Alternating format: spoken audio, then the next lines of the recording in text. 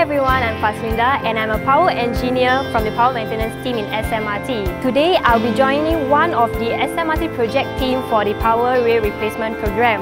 And right now, it's almost 1 a.m. and I'm at Choa Chu Kang MRT station.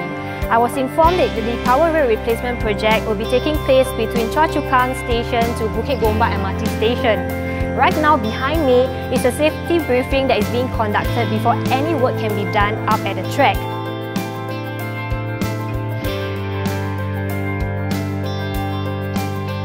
I'm Faslinda. Thank you for allowing us to join your team for this power replacement project. Before we start mm. the work, we must be wearing our personal protective equipment.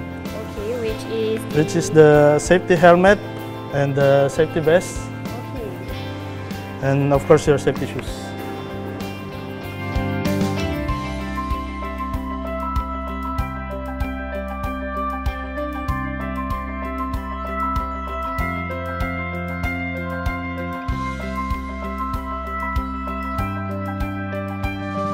Okay, now that we are at the tracks, can you explain um, what was actually the first step that was being done?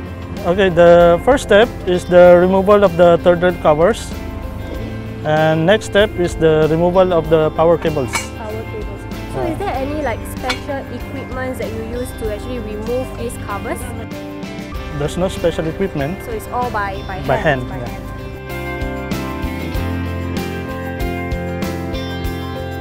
So after the fish plate are removed, uh, the old rail is taken out manually mm -hmm. by the workers.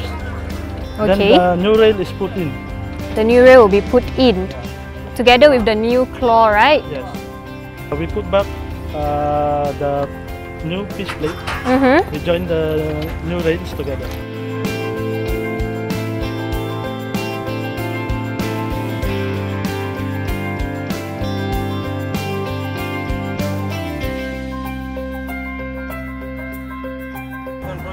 After the rails are installed, mm -hmm. uh, our colleagues from Power do a series of tests to determine if the uh, installed rail. third rail mm -hmm.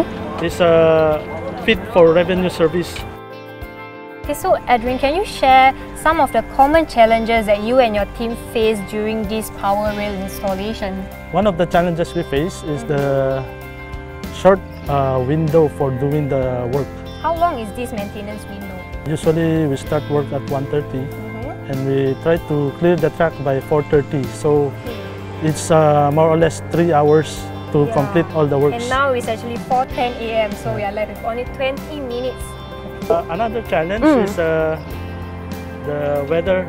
So what are those contingency plans that you and your team have? Of course with SMRT we consider the safety first. Uh, before we access the track, Mm -hmm. uh, we already uh, checked on the weather forecast. If uh, the weather forecast says there's a light lightning mm -hmm. in the uh, immediate uh, vicinity, we cancel the work because safety comes first.